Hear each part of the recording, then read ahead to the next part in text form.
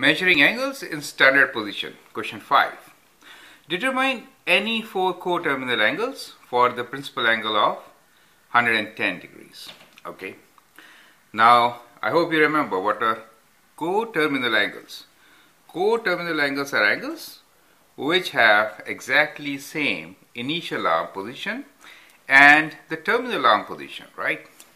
So if it is angle of 110 degrees, we say, well, this is our initial arm and the terminal arm should be in quadrant 2, right? Because this is 90 degrees, it's more than 90 degrees. So let's make this as 110 degrees, okay?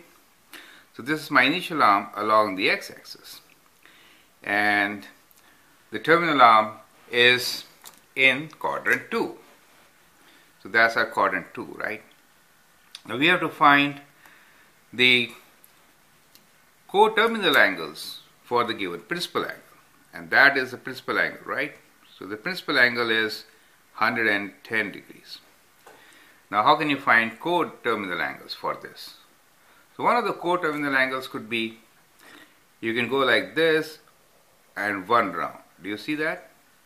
So it is like 360 plus 110 then again you can go around like that and make another. So another coterminal angle for the same angle could be, you can go like this, one round, two round and then come back to this position, correct? So that is how you can find two coterminal angles that is going anti-clockwise, right? The other coterminal angles which you can find, you can go in one direction also. You can also go like this, right? That is also coterminal angle, but with negative sign, okay? And then you can go like this, one full round and then like that, right? So that gives you different coterminal angles for the given principal angle, right? So you can actually find infinite number of terminal, coterminal angles. Coterminal because initial and final arms are same for the two angles, right? Therefore, let's write the coterminal angle theta as equal to 110 degrees plus n times 360 degrees, right? So that is the best way of writing generally. And then what you can do is you can plug n as plus and minus 1, plus and minus 2 to get different answers, right? So let's do that. So if n is 1, so we get 360, so let's do plus side first. So we get 110 plus 360 which is giving us 470 degrees. And then again we can add 360 and we get 830 degrees.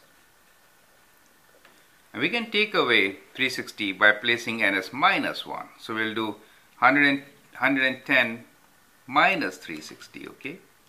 In that case we get minus 250 degrees. Let me write here, minus 250 degrees. And further, another circle that means which will go clockwise and that will give us another coterminal angle with minus 610 degrees. So these are our four coterminal angles for the principal angle of 110 degrees. I hope you understand and appreciate the method. It is going from initial arm to, to the terminal arm in different ways. Okay, So that is what it is. And as you can see, Coterminal angles can be both positive and negative, plus coterminal angles have infinite number of possibilities, whereas principal angle is always between 0 to 360 degrees and is always positive. Thank you.